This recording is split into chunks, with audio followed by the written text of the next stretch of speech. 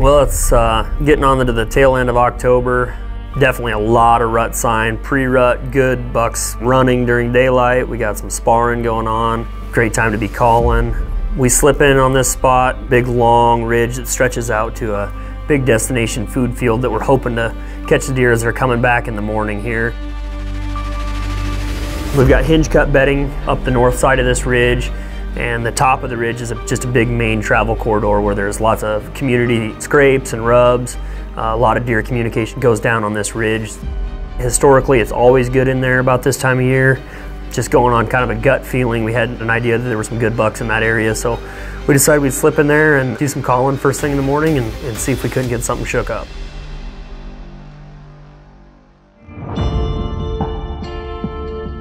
So hinge cutting is obviously a practice that we use a lot with AWS. It is what it sounds like, cutting a tree, you know, halfway, two thirds of the way through, leaving it still intact so that it hinges over and stays connected to the, to the stump. And basically what happens is the, the tree will arch over and the cambium layer is not broken on the tree and allows the tree to stay alive. Puts tons of food on the ground, also puts security cover on the ground, allows the sunlight to come down through the canopy, it's really crucial for bedding. We do kind of two different styles of bedding, a loose open bedding that's kind of what we call combination bedding areas and then thicker, more dense pockets that we call buck bedding areas. And we've kind of scattered that out, positioned that out along the ridge so that bucks will come through on a northwest wind, checking the top side of the bedding pockets. And when they do that, that just happens to put them on the top of the ridge and, and force them to come right by this stand. Late October is my favorite. It's, it's one of my favorite times of the year uh, to be in a bow stand um, just because there's a lot of activity. Bucks are really responding well to calls, grunts, bleats, rattling, you name it. And also big bucks are a lot more predictable and, and still a little bit patternable at that point. The first two weeks of November can be so unpredictable with you know, depending on how the moon hits and which, you know, how many does are in estrus the bucks can be running. They can be running at night. You might never see them. So I, I particularly like uh, the tail end of October just because bucks seem like they're ready to communicate, they're ready to respond, but they're just a lot easier to get nailed down.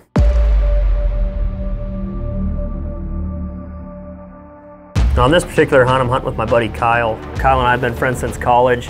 He helps me out on the farm a little bit, and we got some time to be out of the combine. So we decided that uh, we are gonna slip in on this spot where I had an encounter with a great buck the weekend before.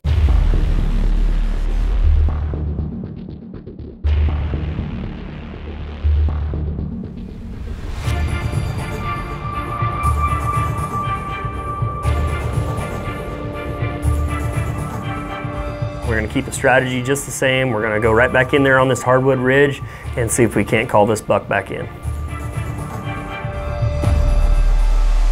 It's the morning of October 27th.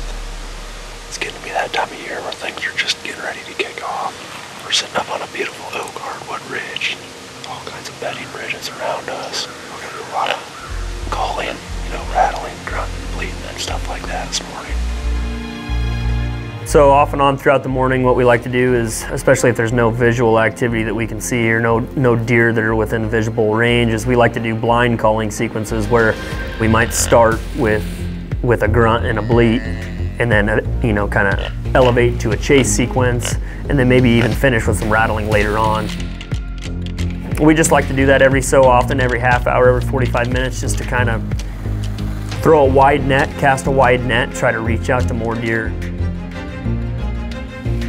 Shortly after uh, one of Kyle's calling sequences, there was just this explosion of chaos. And I looked back up the ridge just to see all of a sudden all these white tails and does running back down the ridge.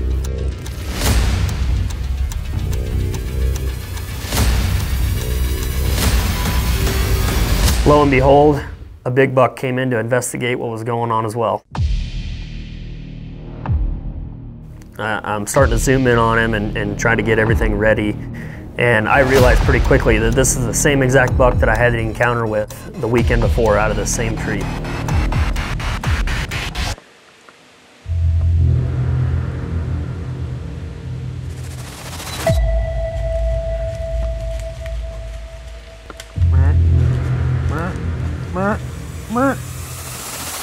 Bat.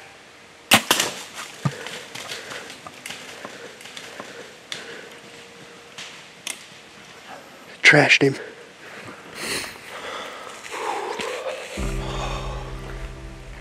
That's that buck though. That's him. What just happened?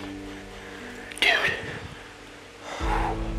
With a buck of this age class, uh, you know, they're not going to tolerate very much pressure, and that's why this was so huge.